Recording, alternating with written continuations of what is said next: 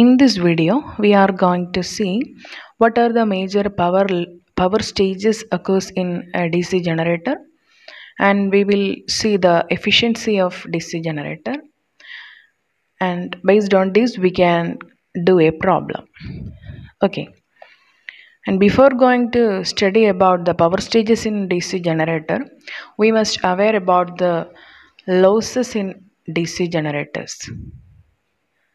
Already we discussed about the major losses in DC generators in detail in the previous lessons.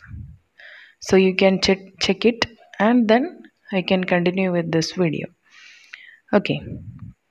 So we know that a DC generator that will convert mechanical energy into electrical energy. At the output, we will not get the entire input as the output due to the presence or the occurrence of different types of losses. Okay, already we discussed about that losses. So here, the based on the losses, the power stages can be divided into three. That can be A, B, and C. Okay. For find out the power stages, we can use this circuit diagram. And below the circuit diagram, you can see a power flow diagram.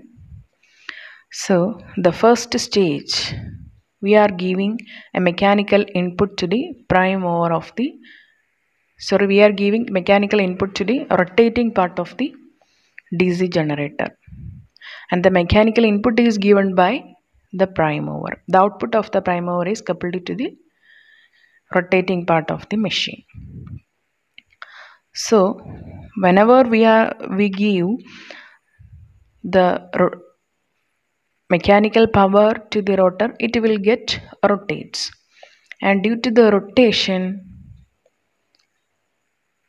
some mechanical losses will occur in the rotating parts of the machine that is friction and windage losses. This friction and windage losses collectively we can call it as mechanical losses in the DC, in DC generators in addition to this we know that when the rotor rotates it will cut the magnetic field and then iron losses or no load losses will occur there. This iron losses includes both hysteresis and eddy current losses. So when the motor rotates, that will lead to the generation of electrical power in the armature. And at that stage, conversion of mechanical input to the generation of electrical energy at the generator.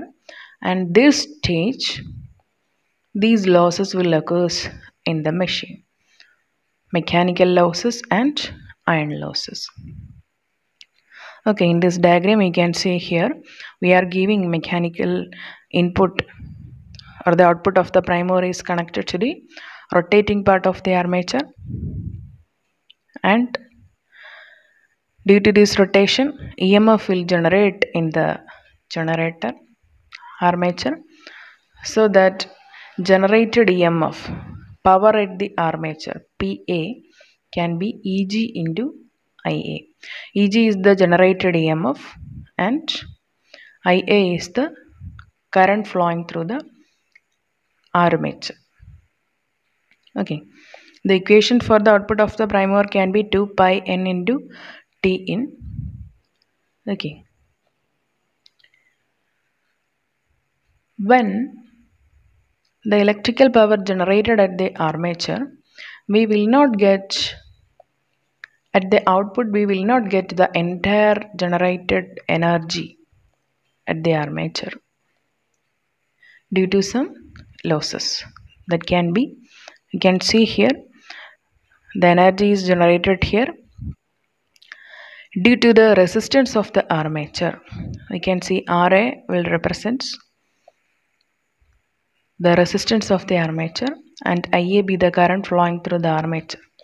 So due to the resistance of the armature field windings some losses will occur there. That can be ia square ra that is armature copper losses. In addition to these losses you can see here a shunt generator. So shunt field due to the flow of current through the shunt field shunt field losses will occur there so ish square rsh will occurs when the when this this these two losses will occurs only after the when the emf generated in the armature. So copper losses. Copper losses is also known as load losses. This copper losses includes both losses in the armature field winding also losses in the shunt field winding also. And then the remaining current will flows or we will get the remaining current as the load current at the load output. Okay. So the generated emf or the electrical power output can be p out can be v into il v is the terminal voltage and il is the load current. Okay. These are the major power stages in dc generator. So we will get the mechanical energy into electrical energy at the output. And during this energy conversion stage certain losses will occur there.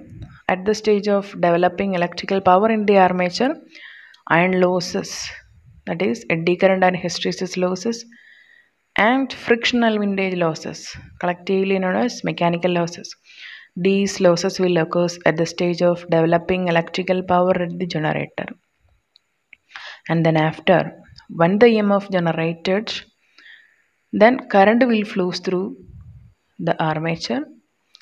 And due to this copper losses will occur there. Copper losses will occur in the field winding armature field winding and also in the shunt field winding. So we will get a reduced output power that is v into il so this is the power stage for a dc generator. Okay. This can be as power flow diagram for a dc generator. Based on this power stages we can calculate different stages of efficiencies for a dc generator. Okay. So the efficiency of dc generator. Efficiency of dc generator we know that first stage mechanical power is converted into electrical energy at the armature along with these losses so we can say that this conversion stage some energy will lose and at the efficiency at this stage can be mechanical efficiency. So we can write the mechanical efficiency. There may be three efficiencies. The first efficiency can be mechanical efficiency.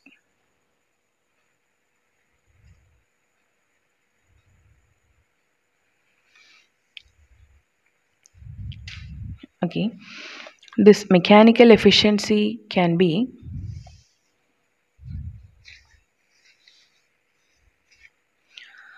the ratio between or it is the ratio of electrical power developed in the armature to the mechanical power which is given to the generator. So we can write it here. Mechanical efficiency is equal to electrical power developed.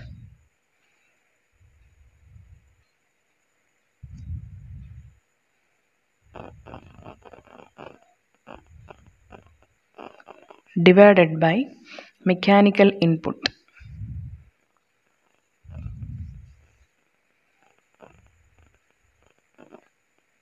Mechanical input. Electrical power developed we can write it, on the basis of equation that is eg into ia eg into ia is the electrical energy developed at the armature or electrical power developed in the armature. Divided by mechanical input. Mechanical input can be 2 pi n into TA okay. 2 pi n into T in. Okay. This is the mechanical efficiency. Or simply we can write the mechanical efficiency is the ratio of B divided by A. Here B represents the electrical power developing developed and A is the mechanical power given to the rotor along with those losses. So this mechanical efficiency includes this rotating losses. Hence we can call it as mechanical efficiency. Okay. The next efficiency stage can be at this stage due to the presence of this constant losses. So efficiency will reduced at this stage due to these losses at the output. Okay. So this can be the ratio of electrical efficiency. Okay the next efficiency can be electrical efficiency.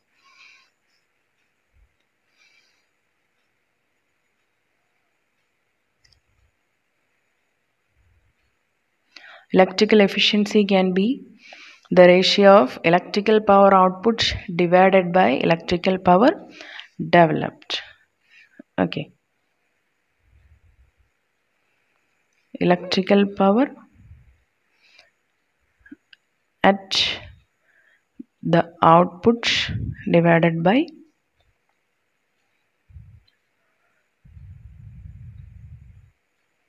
electrical power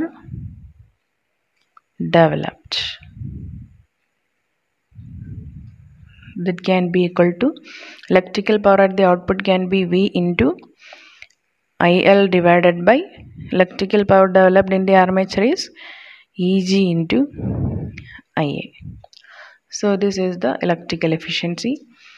The name electrical efficiency is we can use here because it includes current that is IA square RA and ISH square RSH. Hence we can call it as electrical efficiency. And the third category of efficiency in DC generator is overall efficiency or commercial efficiency. That can be the ratio of the electrical power output to the mechanical power which is given. So c divided by e. The third efficiency is overall efficiency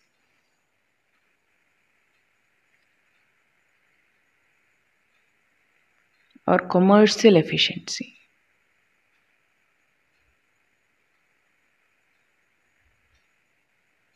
That is equal to electrical power at the output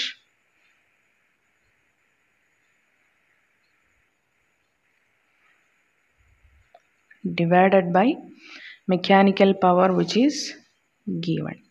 Okay.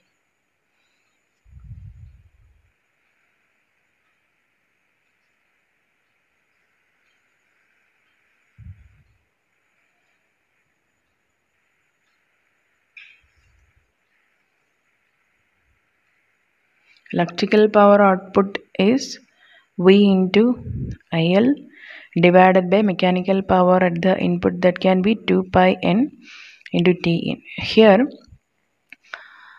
n is the rotation of the rotor and T is the torque developed at the prime mover T in. Okay, these are the major terms and these are the three efficiencies of DC generator okay based on this overall efficiency we can write the efficiency as the overall efficiency can be output divided by input. Because for DC generators the output is here electrical power output. And the input is mechanical power. So output by input. And the numerator and denominator can represent based on the output terms and also based on the input terms. So the output can write in terms of input. Then the output will become input minus losses divided by input. So 1 minus losses by input.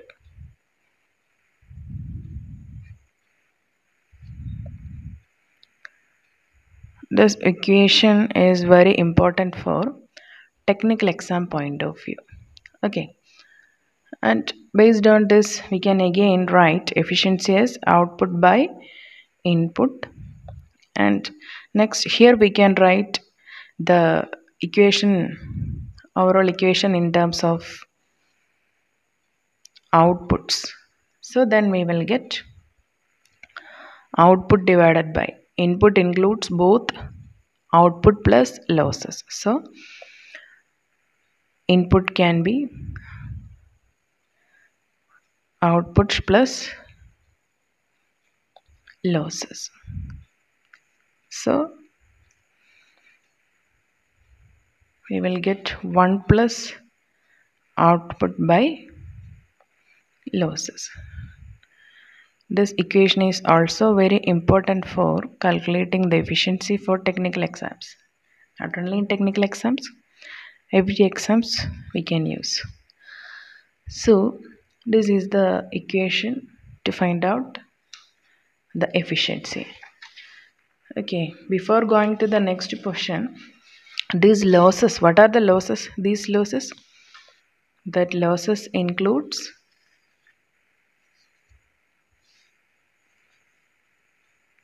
the losses can be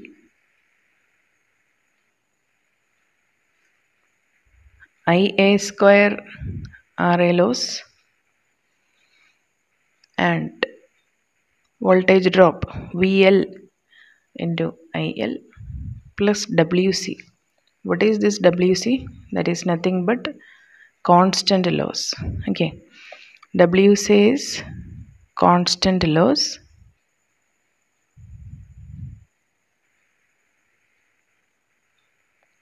So constant loss includes stray losses and shunt field copper losses.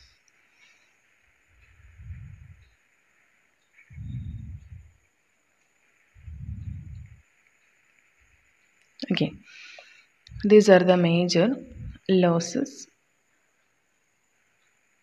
that we can consider for calculation purpose. Okay. And based on this we can write condition for maximum efficiency. Okay. Condition for maximum efficiency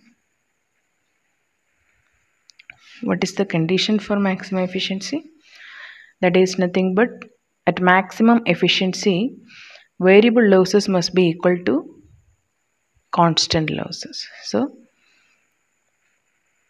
variable losses must be equal to constant losses.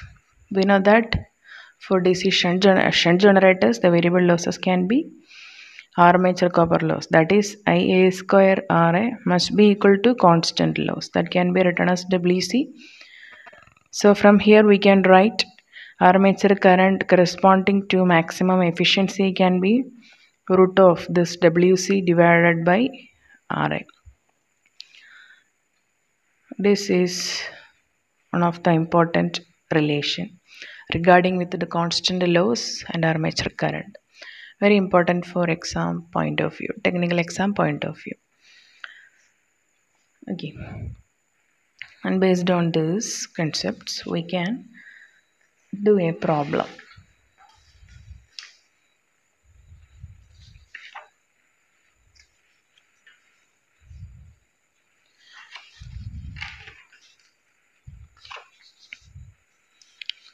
I think you can see the problem here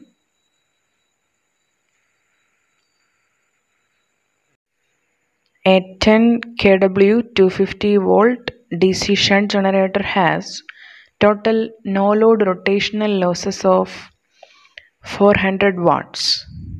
The armature resistance, it is resistance, okay. Armature resistance including brushes and shunt field resistance are 0.5 ohm and 250 ohm respectively. Then calculate the shaft power input and efficiency at rated load. Also, calculate the maximum efficiency and the corresponding power outputs. Okay. Before going to do this problem, we can write what are the given datas. GD given datas. the output power 10 kW at a rated load is given here. So output power at rated load is given that is 10 kW that is 10,000 watts. The next is terminal voltage. VL is given here. So V or VL is equal to 250 volt. And this decision total no load rotational losses. So rotational losses can be 400 watts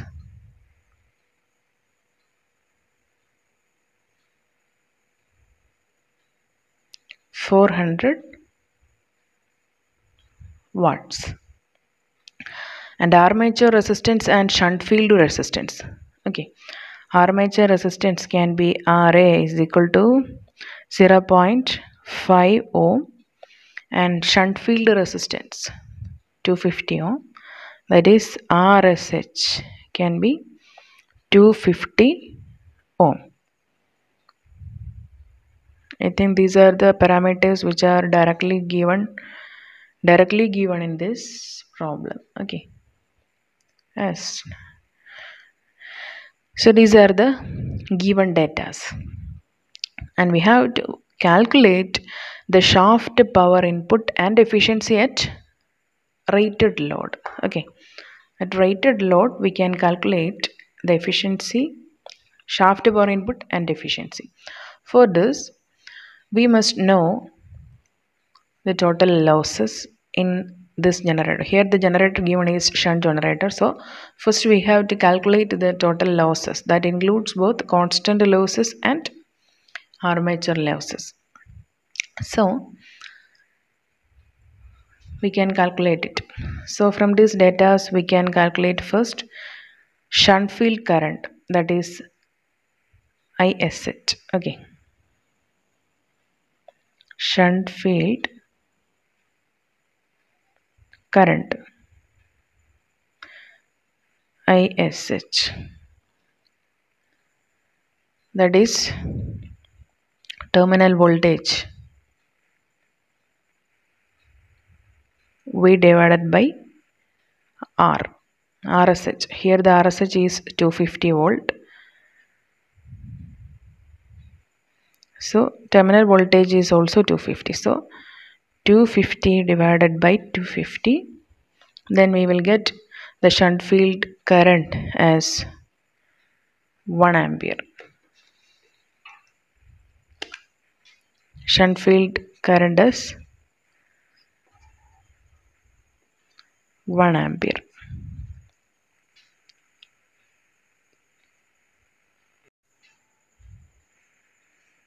and by using this data we can calculate the constant losses. Okay. Constant losses.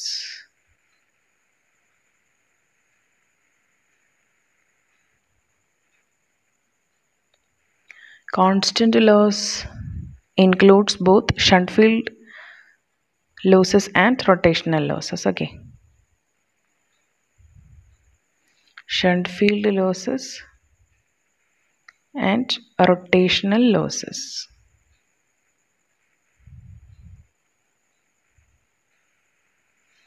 So shunt field losses can be calculated VL into IL VL is 250 IL is we calculated that here sorry IL or ISH that is 1 ampere so 250 into 1 that is shunt field losses plus rotational losses is already given here that is 400 watts. So we can write it here as 250 into 1 plus 400 so that is 650 watts. 650 watts. That is the constant losses for this problem.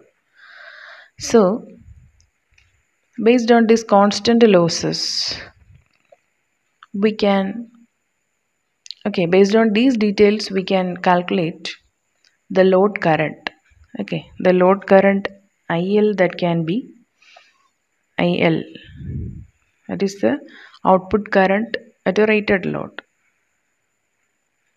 Output current at rated load. That is IL IL can be calculated by using the output at rated load is given. That is 10,000 so 10,000 divided by terminal voltage. So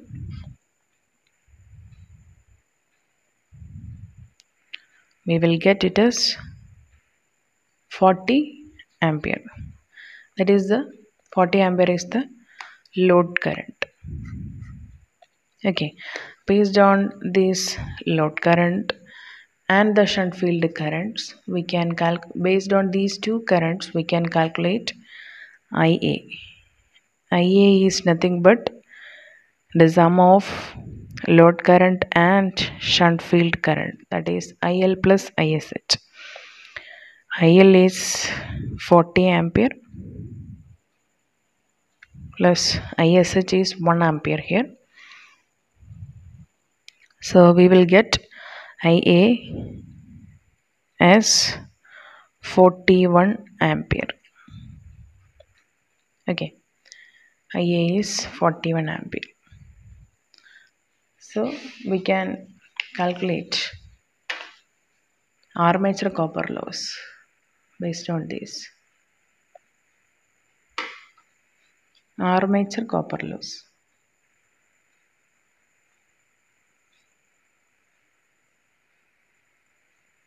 armature copper loss can be equal to ia square ra ia is here it is 41 ampere so 41 square into RA. RA is already given in the question that is 0, 0 0.5. Okay. So IA square into 0 0.5. Okay. Calculation.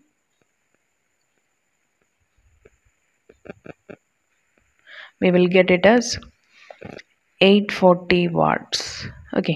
840 is the total armature losses. So, based on this, we can calculate the first question that is shaft power input. So, shaft power input includes both shaft output power at a rated load plus these losses. So, the output at the shaft at a rated load is 10 kW. So we can calculate first part that is shaft power input. Shaft power input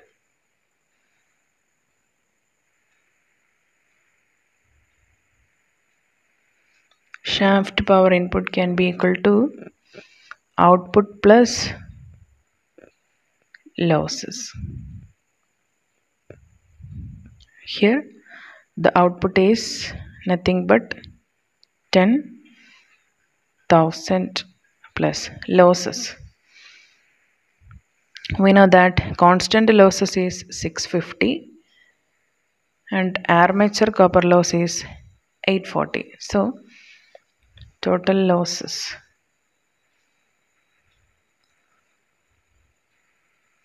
Losses can be equal to constant losses plus armature copper losses. Constant losses is 650 watts. So 650 plus armature copper loss is 840 here. 650 plus 840 that is 1490 1490 okay. That is the losses in these cases. So we can add the loss here so we will get the shaft power input. That is 11490 watts. 11490 watts. Add these losses with the shaft output power. So this is the shaft power input that is output plus losses. And based on this we can calculate the efficiency at rated load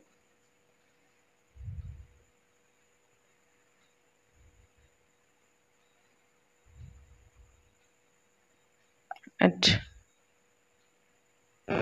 rated load can be equal to 1 minus losses by input. We can use other equation also. Here already we calculated the shaft power input. So it is very easy to find out. So 1 minus losses by input that is 1 minus. Losses is 1490 and divided by input that is 11490 so after calculation we will get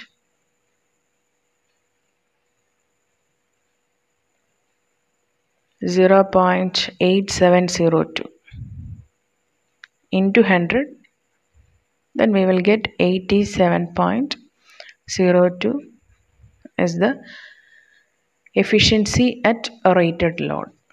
Okay that is the that was the first question. Calculate the shaft power input and efficiency at rated load. Also we can calculate the maximum efficiency and the corresponding power output. Okay. If we want to calculate the maximum efficiency then copper lo- uh, variable losses must be equal to constant losses. That is the condition for maximum efficiency. So we can write it here. Second part. Maximum efficiency will occurs when variable losses become equal to constant losses. We know that here constant losses is 650 watts. So total losses at maximum efficiency will be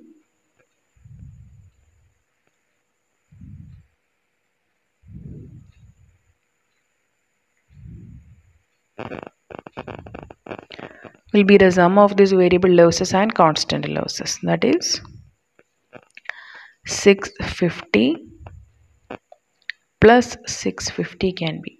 So that is 1300 watts. That can be the total losses at occurs at maximum efficiency. Okay and based on this we can calculate the armature current at maximum efficiency.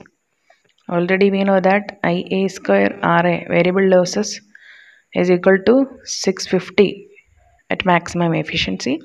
And based on this we can calculate the armature current corresponding with maximum efficiency. That is 650 root of 650 divided by RA RA is already given that is 0.5 so on calculation we will get it as 36 ampere. Okay. So 36 ampere is the armature current occurs at maximum efficiency and based on these concepts we can calculate the load current that is IL is IA minus ISH because we know that armature current will be the sum of load current plus the shunt, shunt field current that is ISH so we can calculate IL from this IA minus ISH so we know that IA is 36 ampere because at maximum efficiency the variable losses will vary when we compare it with the rated load. So IA in this case at maximum efficiency IA will be 36 shunt field current or shunt field losses are constant for for shunt generator. So ISH will be what is the value of ISH that is 1 ampere okay. ISH is equal to 1 ampere already at first. We calculated that so we will get IL as 36 minus 1 that is 35 ampere. That is the load current. So we can calculate the output power.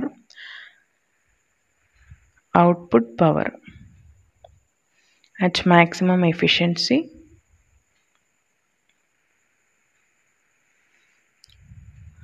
that is IL into terminal voltage V that is 250 that is IL is 35 and terminal voltage that is 250 and based on the calculation we will get it as 35 into 250 8750 watts. This will be the output power. Occurs at maximum efficiency. Okay. And the based on these concepts we can calculate the generated input power.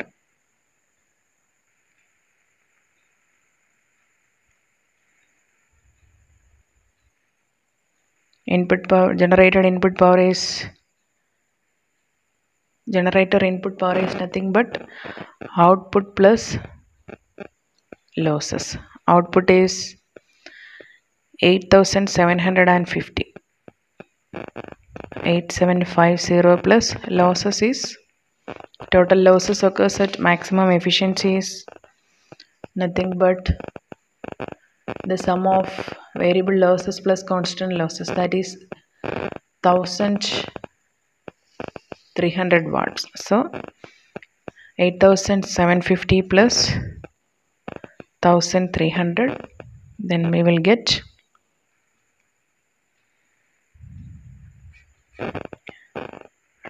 okay.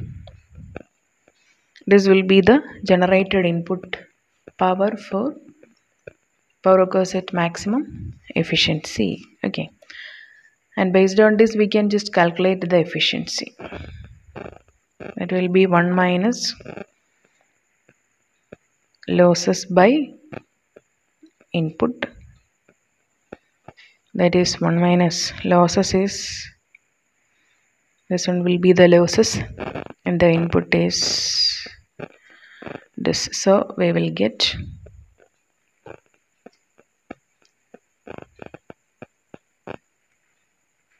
so 87.07 will be the maximum efficiency. Okay. Already so we calculated this problem. Shaft power input and efficiency at rated load and maximum efficiency and corresponding maximum corresponding power output at maximum efficiency. Okay. These are the major things which is very important for DC generator calculation purpose. Oh, so in this video we studied the power stages and different types of efficiencies. And based on these things we calculated a problem okay thank you